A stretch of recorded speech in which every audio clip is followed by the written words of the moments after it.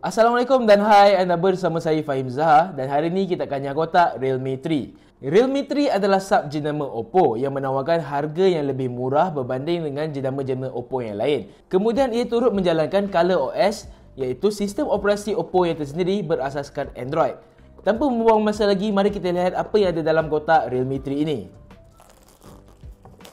Realme 3 di India dijana dengan MediaTek Helio P70 tetapi untuk pasaran lain termasuk Malaysia ia hanya dijana dengan Helio P60 iaitu sebuah chip pemprosesan MediaTek yang agak lama. Kemudian ia turut dipadankan dengan memori 4GB RAM dan 64GB storan dalaman.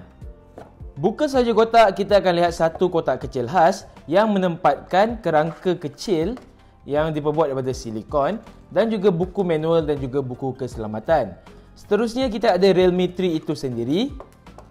Dan di dalamnya terdapat pengecas dan juga kabel micro USB berwarna putih yang biasa. Okey, mari kita lihat peranti itu sendiri. Versi Realme 3 yang kami terima ini adalah berwarna dynamic black di mana ia merupakan satu warna cerun hitam dan juga ungu. Terdapat juga bayangan warna biru apabila kita halakan di beberapa sudut yang berlainan. Skrin 3 adalah 6.2 inci HD dengan rekaan takuk kecil di bahagian atas. Untuk kamera, ia menggunakan dua kamera di belakang di mana lensa pertama adalah 13 megapiksel f1.8 dan lensa kedua adalah 2 megapiksel sensor bokeh.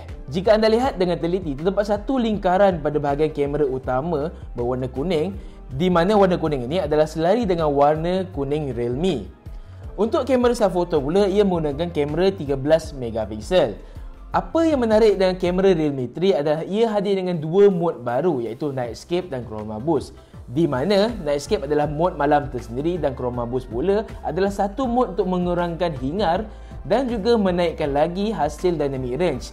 Sekaligus, ia akan memberi hasil gambar yang lebih menarik dan cantik. Untuk bateri pula, Realme 3 mempunyai bateri berkapasiti 4230 mAh menggunakan micro USB tanpa sokongan pengisian pantas. Agak kecewa di situ. Tetapi apa yang menarik, Realme masih kekalkan bicu audio 3.5mm pada Realme 3 ini. Sebelah port pengecasan micro USB tadi turut terdapat kekisi pembesar suara mono.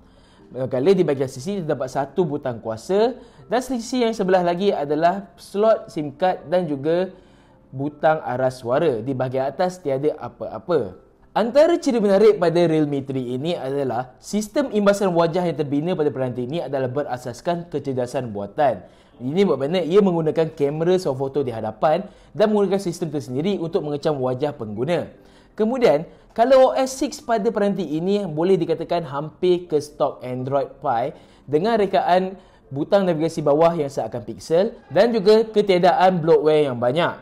Ini bermakna peranti ini kini lebih ringan dan tidak akan banyak aplikasi yang berjalan di latar secara agresif. Rekaan antarmuka pada ColorOS 6 pada 3 ini juga agak baru seperti talam notifikasi dengan ikon pintasan tetapan yang menarik yang menggunakan rekaan berkotak ataupun squircle. Warna rekaan antarmuka ini juga adalah seakan cerun berwarna putih dan ke arah alut sinar ia agak berbeza dengan color OS yang sebelum ini. Sebaik saja Realme 3 ini dihidupkan, kawalan navigasi segan pixel ini adalah satu kawalan navigasi yang asas ataupun default.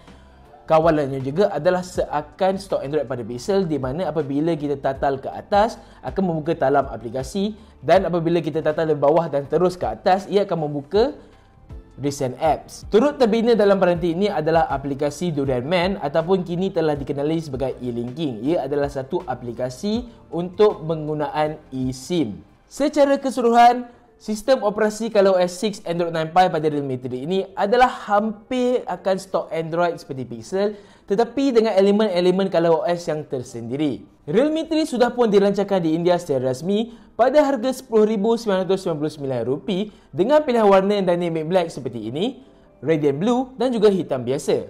Peranti ini juga telah pun dilancarkan di Malaysia secara rasmi.